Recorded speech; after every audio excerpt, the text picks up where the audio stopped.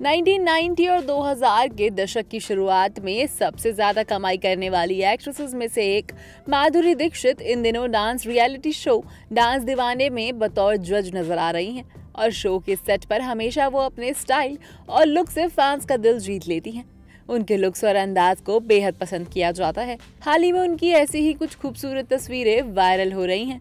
इन तस्वीरों में माधुरी दीक्षित हमेशा की तरह ही बेहद खूबसूरत लग रही हैं। और उनकी इन तस्वीरों को भी बेहद पसंद किया जा रहा है पचास से ऊपर की उम्र में भी एक्ट्रेस बेहद प्यारी लग रही हैं और अच्छी अच्छी एक्ट्रेस को मात देती नज़र आई हैं। शो के सेट पर माधुरी लाइट कलर की ग्रीन साड़ी में नज़र आ रही हैं। साथ ही लाइट मेकअप के साथ एक्ट्रेस ने अपने बालों को खुला रख अपने लुक को कंप्लीट किया है बॉलीवुड के एक्शन स्टार कहे जाने वाले सुनील शेट्टी भी माधुरी दीक्षित के साथ इस डांस रियलिटी शो को जज कर रहे हैं माधुरी की तरह ही उनकी भी कई सारी फ़ोटो सोशल मीडिया पे अक्सर वायरल रहती हैं, जिनमें फैंस उनके ज़बरदस्त स्टाइल से काफ़ी इम्प्रेस होते हैं। ऐसे में ही कुछ उनकी हालिया वायरल हो रही फ़ोटोज़ भी देखने को मिली हैं, जिसको बेहद पसंद किया जा रहा है।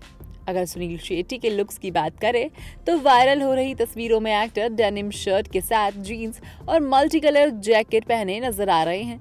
इसके साथ ही उन्होंने ब्लैक कलर के सनग्लासेस भी कैरी किए हैं, जो उनके लुक को और भी ज़्यादा शानदार बना रहा है।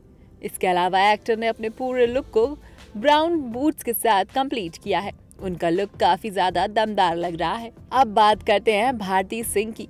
कई टीवी रियलिटी शो का हिस्सा रह चुकी और अपने कॉमेडी अंदाज से सभी को हंसाने वाली भारती भी इस डांस रियलिटी शो में बतौर होस्ट नज़र आ रही हैं। और अपनी होस्टिंग से अक्सर ही वहाँ मौजूद लोगों को और माधुरी सुनील को हंसाती नज़र आती हैं। इस बीच उनकी भी कुछ प्यारी प्यारी तस्वीरें सोशल मीडिया पे वायरल हो रही हैं, जिसमें उनका धांसू लुक देखने को मिल रहा है।